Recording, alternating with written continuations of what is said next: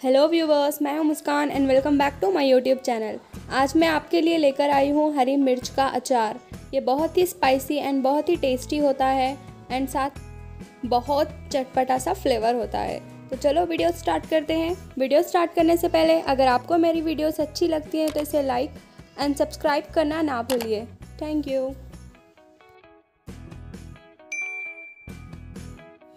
यहाँ पर 250 ग्राम्स हरी मिर्च मैंने लिए है। मैंने इसे अच्छे से वॉश कर लिया था।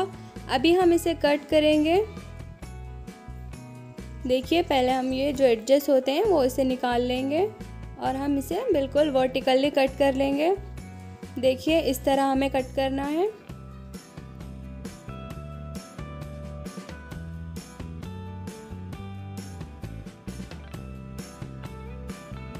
देखिए, बिल्कुल इस तरह हम सारे हरी मिर्च को कट कर लेंगे। ये देखिए, कुछ इस तरह। अभी चलते हैं नेक्स्ट प्रोसेस की ओर। यहाँ पर मैंने पैन लिया है। अभी यहाँ पर थ्री टेबल स्पून ऑयल डालेंगे। हाफ़ टी स्पून कलौजी यहाँ पर मैं डाल रही हूँ। राई हाफ़ टी स्पून एंड यहाँ पर ज़ीरो हाफ़ टी स्पून डालेंगे। इसे अच्छे से रोस्ट कर लेंगे, मीडियम फ्लेम पर हमें करना है। अभी यहाँ पर जो हरी मिर्च को हमने कट किया था, वो यहाँ पर ऐड कर लेंगे। इसे अच्छे से टू मिनट्स तक हम रोस्ट कर लेंगे। यहाँ पर नमक वन टीस्पून मैंने डाला है, आप टेस्ट के अकॉर्डिंग एडजस्ट कर लें।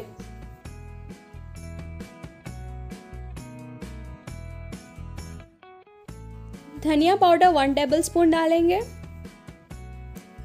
अच्छे से मिक्स कर लेंगे। एंड यहाँ पर ज़ीरा पाउडर वन टेबल स्पून इसे भी अच्छे से मिक्स करेंगे।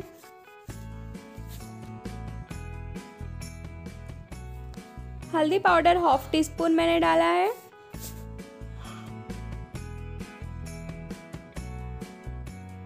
अब हम इसे टू मिनट्स तक ऐसे ही लो टू मीडियम फ्लेम पर पकाएँगे।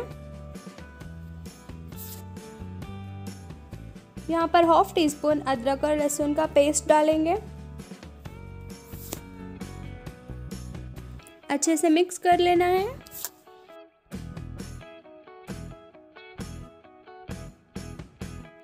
अभी हम फ्लेम को ऑफ़ कर देंगे।